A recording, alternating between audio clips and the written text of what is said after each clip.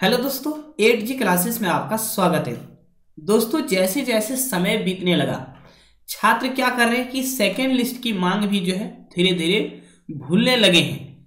दोस्तों, हम आपको बता दें कि वही छात्र सेकेंड लिस्ट का मांग भूल सकते हैं, जो कि इनको इससे कोई मतलब नहीं है। लेकिन दोस्तों, जो छात्र काफ़ी मेहनत और काफ़ी संघर्ष करके यहाँ तक पहुँचे हैं, और उसका कुछ नंबर से दोस्तों जो है सिलेक्शन नहीं हो पाया इसमें। यानी काउंसलिंग में वो शॉर्ट लिस्टेड में नहीं आ पाए। तो दोस्तों, वो छात्र कभी नहीं भूल सकते सेकेंड लिस्ट आपको पता है दोस्तों कि सेकेंड लिस्ट के लिए जो है छात्र जो है काफ़ी संघर्ष कर रहे हैं, लगातार इस मुद्दे को उठा रहे हैं। और दोस्तों, मैं भी यही कहना चाहूँगा कि जितने भी यूट्यूबर हैं, इसके बारे में ज़्यादा से ज़्यादा जो है वीडियो बनाया जाए सेकेंड लिस्ट के लिए, क्योंकि आयोग को जो है सेकेंड लिस्ट जारी करना पड़ेगा।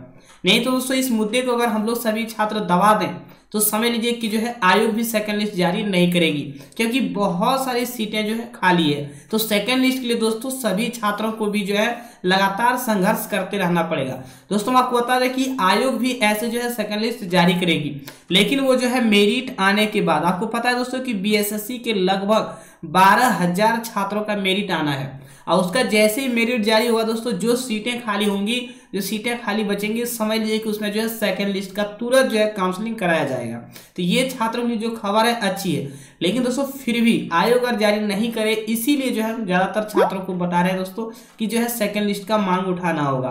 दोस्तों, फ़िलहाल अभी हम आपको बता दें कि आपके पास एक समय और मिला है, जिसका भी जो है एनटीपीसी में रिज़ल्ट हुआ है। अभी फ़िलहाल दोस्तों ये सारे चीज़ों को भूल करके जो है आपको क्या करना है कि इसमें लग जाना है।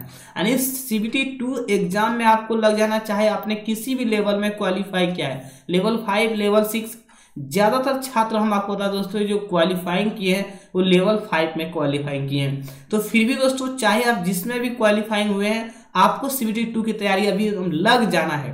फ़िलहाल दोस्तों बीएसएससी को अभी जो है आपको थोड़ा सा भूल जाना है।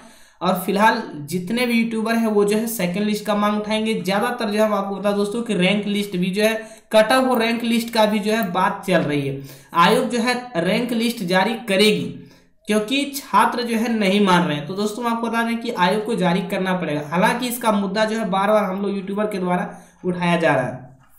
फ़िलहाल आपको अभी जो है एनटीपीसी टी टू में लग जाना है। दोस्तों, जैसे ही मेरिट आएगा, छात्र जो है सेकेंड लिस्ट के लिए तैयार हो जाएँगे। इस वीडियो में इतना है। वीडियो पसंद आता है लाइक कीजिएगा। चैनल पर नए होंगे, चैनल को सब्सक्राइब ज़रूर कर लीजिएगा।